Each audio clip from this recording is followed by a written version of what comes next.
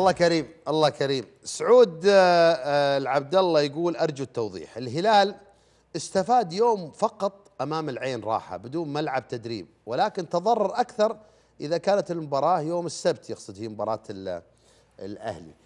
عماد الآن اليوم أكيد ما تدربوا جوا الصالة. صحيح. أمس أيضا كان تدريب آه، آه، جوا الصالة الدنيا كانت تمطر أمس. طيب بكرة بيلعب المباراة. آه، أمس عفوا عفوا أمس تدرب. الاثنين تدرب. الثلاثاء تأجلت المباراة يسوي تدريب جوا الصالة. الأربعاء بيلعب المباراة. الخميس ممكن يسوي استشفاء. الجمعة يتدرب ويسافر لجدة. يوم السبت يلعب مع الأهلي. الأحد استشفاء.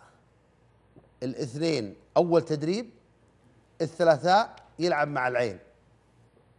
جيسوس ما يقدر يسوي أي تغيير أو تعديل في الخطة خلاص. حلو. طيب نتفق إنه حفظ الفرقة طريقته.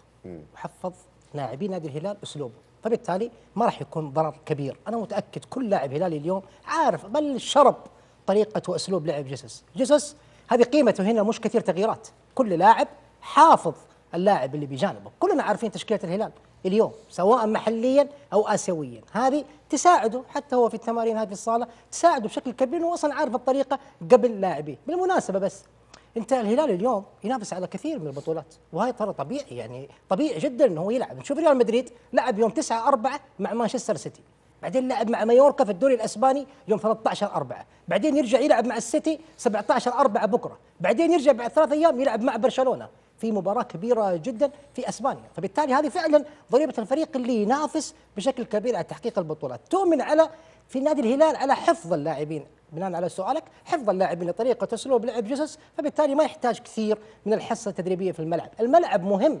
ترى يقولون جاهز للعب كرة قدم لكن هل هو جاهز لمتعة نادي الهلال؟ الهلال يحب يلعب الكره تحت. لازم يكون الملعب مميز مهيئ للاعبين لتنفيذ طريقة لعب جيسوس اللي يؤكد انه محافظينها اللاعبين بعيدا عن تمرينه اليوم داخل الملعب أو لا.